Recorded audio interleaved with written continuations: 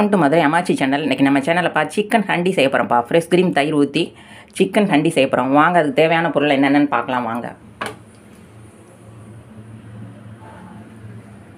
ரொம்ப டேஸ்ட்டாக இருக்குப்பா.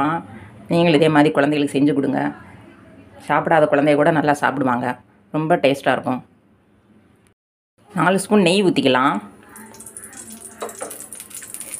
ரெண்டு ஸ்பூன் ஆயில் ஊற்றிக்கலாம் எண்ணெய் நல்லா காயட்டும்.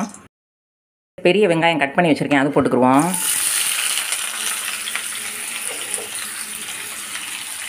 நல்லா வதக்கிக்கலாம். நல்ல செவக்க ரோஸை வறுக்கணும். சாரி வதக்கணும். ரெண்டு பச்சை மிளகா கட் பண்ணி வச்சுருக்கேன் அது போட்டுக்கலாம். ஒரு ஆறு பல்பூண்டு கட் பண்ணி வச்சுருக்கேன் அதுவும் போட்டுக்கலாம். நல்லா வதக்கிடுவோம் வெங்காயம் நல்லா வதங்குறதுக்கு கொஞ்சம் உப்பு போட்டுக்கிறேன். கொஞ்சம் வெங்காயம் நல்லா வதங்கியிருக்கு. ஒரு ஸ்பூன் இஞ்சி பூண்டு சேர்த்துக்கிறேன். அதையும் சேர்த்து நல்லா வதக்கிடுவோம். இந்த டயத்தில் தக்காளி ரெண்டு தக்காளி கட் பண்ணி வச்சுருக்கேன். அது போட்டுக்கலாம். நல்லா கிளறி ஊற்றுவோம் தக்காளி நல்லா வேகட்டும். கால் ஸ்பூன் மஞ்சள் பொடி சேர்த்துக்கலாம். ஒரு ஸ்பூன் மிளகாய் பொடி சேர்த்துக்கலாம். பொடி வ பச்சை வாசனை போகிற வரைக்கும் நல்லா வதக்கிக்கிடுவோம்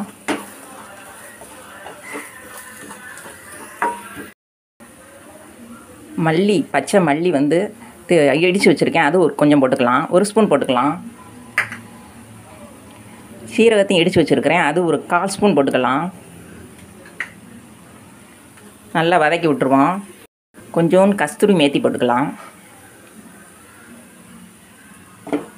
நல்லா வதக்கி விட்டுருவோம். அரை கிலோ கறி எடுத்து வச்சுருக்கேன். அதை போட்டுக்கலாம்.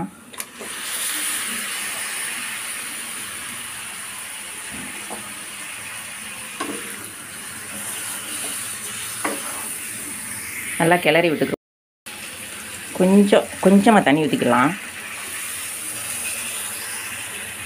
போட்டு மூடி வச்சிரும். ஒரு அஞ்சு நிமிஷம் இந்த எண்ணெயிலே நல்லா வேகட்டும். ஏற்கனவே கொஞ்சம் உப்பு போட்டிருக்கோம். இப்போ தேவையான அளவு கொஞ்சம் போட்டுக்கோங்க.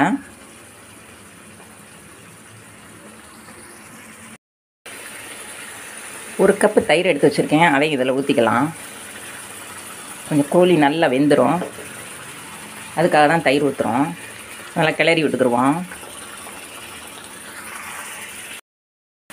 நல்லா எண்ணெய் பிரிஞ்சு வந்துருச்சு. இப்போ வந்து கொஞ்சம் கால் ஸ்பூன் கரம் மசாலா போட்டுக்குருவோம் மல்லி ஏற்கனவே வந்து ஒரு ஸ்பூன் தான் போட்டிருக்கோம். மீதி இருக்கிறத போட்டுக்கலாம் ஒரு ஸ்பூன்னு ஜீரகத்தூளும் கொஞ்சம் போட்டுக்குருவோம் கஸ்தூரி மேத்தி கொஞ்சம் போட்டுக்கலாம்ப்பா. நல்லா கிளறி விட்டுருவோம். இந்த டயத்தில் வந்து லாஸ்ட்டில் வந்து ஃப்ரெஷ் க்ரீம் நூறு நூறு கிராம் எடுத்து வச்சுருக்கிறேன் அதை ஊற்றிக்கலாம்